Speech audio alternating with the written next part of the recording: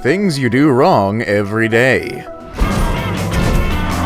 Hello there, YouTube. So basically, we do a lot of things automatically on a daily basis, which is purely out of habit. Keep moving. Keep moving. Most times, we don't even bother to find out if there's a better or more efficient method. Today, we're going to be talking about those habits and learning the best way to carry out everyday tasks. These honestly could range from holding a drink to walking properly or having good posture. If you're new to this channel and if you have not subscribed to our list, I urge you to do so now by clicking that subscribe button as we give you things you do wrong every single day. Our first tip is holding a drink. The first one actually applies to any drink that comes in either a glass or a bottle. You would be shocked to find out that this whole time you've been holding your drink, well, let's say for a beer, for example, by its body, which totally makes sense, am I right? Especially since it's most comfortable and it's how you have always seen others do it. However, that is not the right way to hold a drink. Our hands conduct heat, therefore they affect the temperature of the beer, warming it much quicker than if you were holding the bottle by the neck, which is exactly what you are really supposed to do. A similar rule exists for when you hold a glass of wine. The best bet is to hold the glass by the stem, or flute as it's officially called. As for regular glasses like a shot glass, or even just a regular soda glass, well I'm sorry, we're just gonna have to deal with warm drinks. Our next tip is untying knots. Tell me, how many times do you try to untie something? A million times and it just doesn't seem to get any better? Some people string the handle of a garbage bag or anything else that knots only to end up making the knot even more tight and totally unmanageable. Well, luckily for you, there is an easier way. Instead of pinching the actual bond and frustrating yourself until everyone thinks you're a crazy person, take two ends of the tie and twist it as much as possible. Then simply pull the twisted part in your hand away from the knot. Do it a number of times so it loosens out. If all else fails you, a corkscrew can actually be a tool for untwisting tough knots like shoelaces. Make sure while you're doing any of these that you take it as much weight off the tied part as possible. If it's a bag of garbage, for instance, lift the bag off the floor and take pressure off the knots. All of this will make knots more manageable. Don't worry if you don't get it the first time. I know I'm still having trouble with the 76th time. Our next tip is holding a banana. Now this one is a surprising fact that people don't know, especially because bananas are actually really common. Most people open bananas from the stem, and while it might go really smoothly for them, more often than not you'll probably end up in a struggle with it, or end up mushing or bruising it and making it all gross.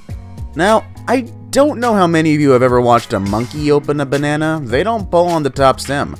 Monkeys actually turn the banana upside down and open it. The trick is to actually open the banana from the opposite end of what your instincts tell you. Simply pinch the bottom end of the banana where the hard bit is, make a quarter turn, and pull back the skin away. It's much easier. Do this if you want an even result while looking like a person who actually knows their fruit. And isn't that the respect you've always wanted? Our next tip is brushing your teeth. Everybody always wants comments about how clean their teeth look. From those pearly whites to those shiny molars to my shiny teeth and me. Especially if they're just so white. You might be surprised to learn that up until this video, I too was brushing my teeth all wrong, just like you were. Now, we brush every day to maintain healthy teeth, but there is still a proper way of doing it so that many people are aware of. The first thing that you might not realize is that you're probably using way too much toothpaste. You only take a small dab to get your chompers clean, like about the size of a small pea. Secondly, and most commonly, you're probably brushing way too hard. A lot of people may think that the harder you scrub, the more stuff you get out of your teeth.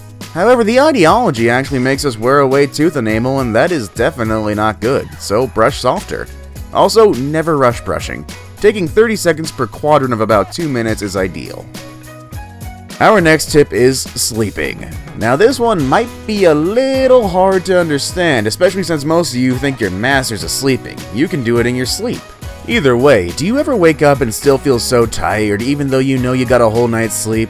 Well, the problem is likely not the number of hours that you get every day, but instead it means you're just going about it, well, you guessed right, wrong.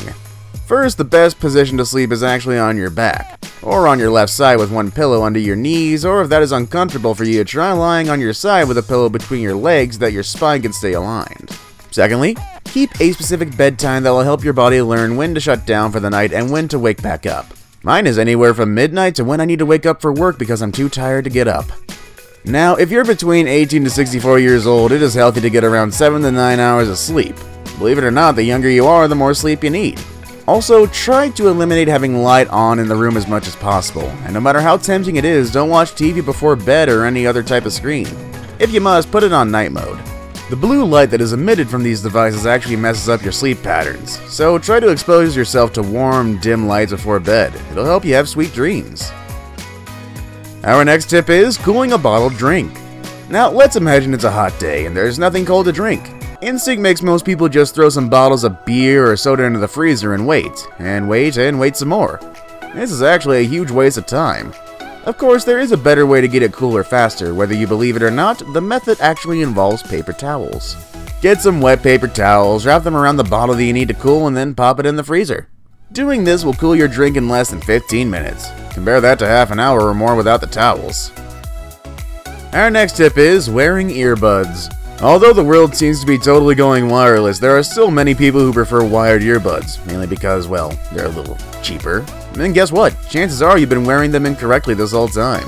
You may have bought a pair only to realize that they don't fit in your ears like they're supposed to, or they just keep falling out, so you stuff them deep in there to keep them in place. Well, I'm guessing you wear them the same way that most people do, straight up into your ears. Actually, that's not right. The best way to actually keep earbuds in your ear is to loop them from behind your ear and down so that part of the cord actually runs over your ear. Now it may seem odd at first if you've never tried it, but this method will stop the cords from being pulled out of your ear even when they sway too much or get snagged on something. As odd as it feels, trust me, the joy that you'll feel from being able to run or go about your daily life without them falling out is definitely worth it. Our next tip is microwaving. We've probably all used the microwave more than once to heat up previous dinner leftovers, but as you may have guessed, there's a good chance that you may have also been doing it wrong this entire time. Funny how there's a whole lot of these things we don't know. Although it seems like microwaves unevenly heat up food inside them with the middle kind of warm, the others kind of crispy or cold. However, they can actually cook food pretty evenly. The thing is, they can't properly do it if you just shove food in a huge pile and in the middle of the plate.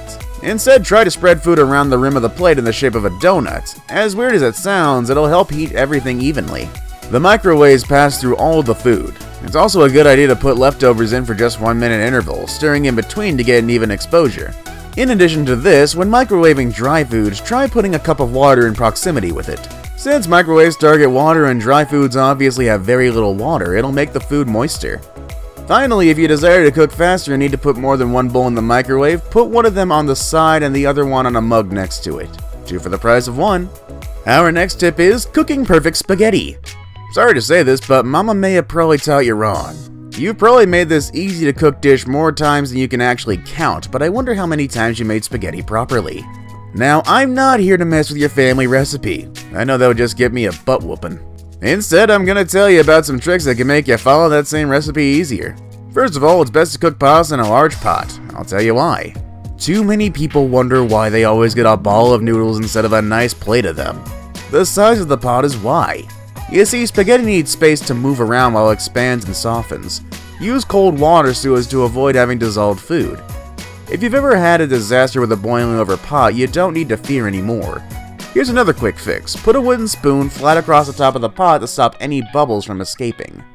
Finally, if you have ever wondered what that hole in that handle of your saucepan is for, well, I'm happy to tell you it's actually meant to hold your spoon so that it does not make a mess on the counter. Now you get to enjoy your noodles and less messy kitchens. Thank me later.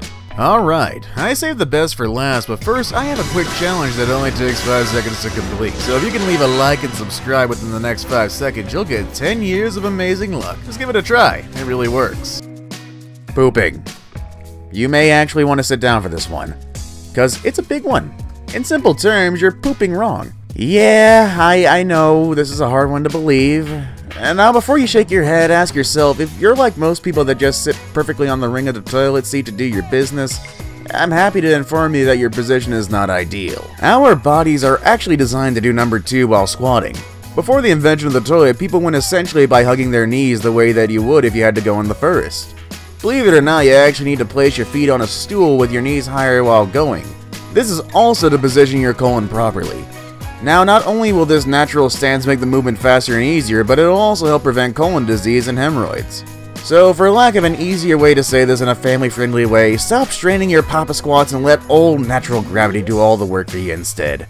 And that was our video for today, everybody. I hope you enjoyed learning about these life hacks. Did we leave out any important details? Let us know what you think, and make sure you give us a thumbs up. See you, everybody.